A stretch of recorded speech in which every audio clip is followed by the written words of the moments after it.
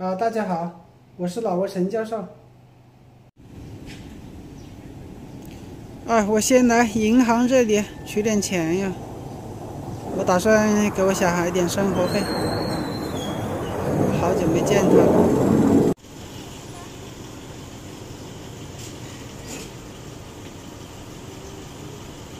啊，我一共取了六百万老币，折合人民币三千多块钱。我先来一下同德康市场，找卖鸭子的越南女阿花，找她了解一下情况。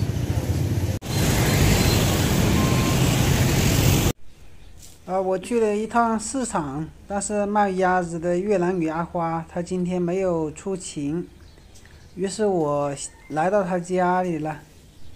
这个阿花是我们的老朋友，她非常的配合我。这个阿花她是越南人，她单独的租了这个大院子里面的一个小院子，房租是每个月一千多人民币吧。她来老挝也有十多年了，最开始是捡废品，现在卖鸭子卖了几年了。不过，不过近期没什么鸭子，没什么货源。就是那种大型的养鸭的人，把淘汰的不下蛋的鸭子做菜鸭卖掉卖掉，他们就买过来，把毛拔干净，然后去市场卖。她和她老公还有两个女儿都是在老挝，都是住在这里。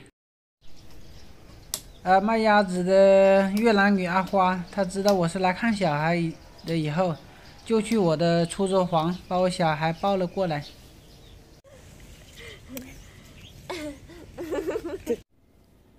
呃，当然后面跟着我小孩的小姨妈阿玲。我前妻现在是和他弟弟阿迪，还有我小姨子阿达，还有这个最小的小妹妹阿玲，四个人住在一起。啊，五个人住在一起，加上我小孩的话。这个小妹妹因为疫情原因一直没有回家乡上学，她就在家里带我小孩。他玩的这个手机也是我以前买的，他和我挺熟悉的，一边看着我和小孩，一边给他姐姐发了信息。啊，我前妻现在在市场里卖护肤品，一天能够卖个四五十万吧，上午加下午啊。能够挣个人民币一百多块钱，我以前卖的时候一天能够挣个三四百。当然，现在最主要的就是，呃，生意不太好做，而且人民币汇率大幅上涨的原因。他从市场里面回来以后，没有过来和我见面，他是给他妹妹说，要我想小孩了就可以去看他。啊！我把生活费拿给我小孩，他们就和我告辞了。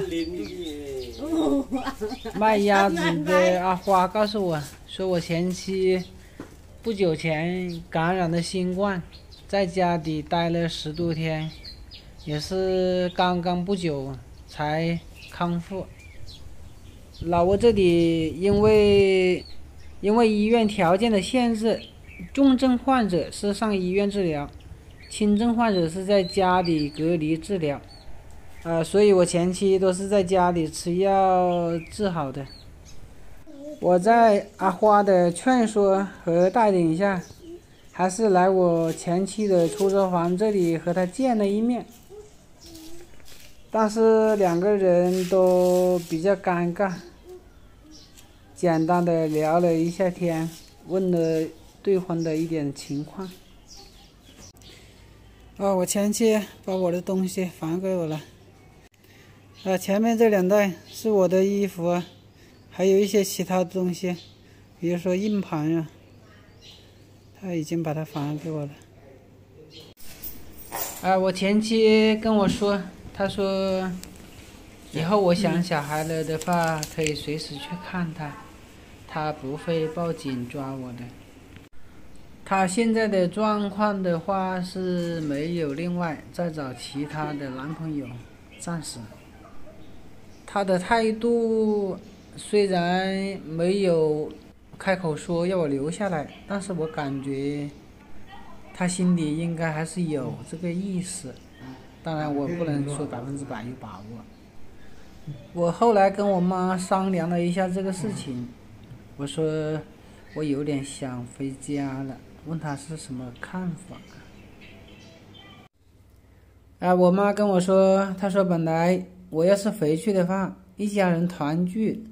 这种情况应该是要好一些，啊！但是我妈又说，只要我回去了，我就一分钱也剩不着了。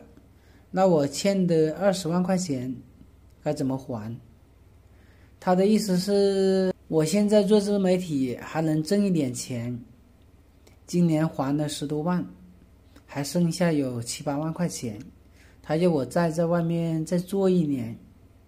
把这个账还了，然后随便我怎么做，而且他还说我前妻性格很强势，一个是这已经是我第二次出走了，前面第一次是三年前，我当时走了两天，走的懒不拉邦，后来是被我前妻发信息给劝回来了，所以他说我们两个人不一定能够长久。还有就是，他也不愿意跟我回中国生活。我这个欠二十万块钱的事，我老婆她是不知道的，我也不敢跟她说。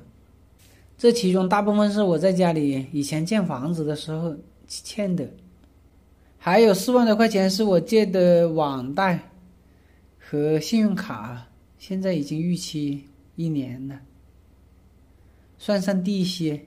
应该是已经到了六万多了，这个钱我老婆是知道的，但是她不管，她该花的钱还是要花，她从来不考虑我怎么还这个账。比如说有一次她自己生病了，我已经是拿不出钱了，按照道理有两头牛是可以卖一头牛的，但是她不管，她还是坚决不卖牛，要我拿钱。从某种程度上来说，他是完全不理会我欠的这个银行的钱。说难听一点，就是不管我的死活。我现在做的这个自媒体的话，也是非常难做的。我已经是全力以赴了，但是流量总是起起落落，也就只有我拍柚子妹和裁缝妹那两个月的收入好一点。到了今年的一月份，也就是现在这个月，无论是播放量还是收入，都直接被腰斩了。所以说，未来还是面临非常大的挑战。呃，好了，今天聊了这么多，就到这里吧。谢谢大家的观看，再见。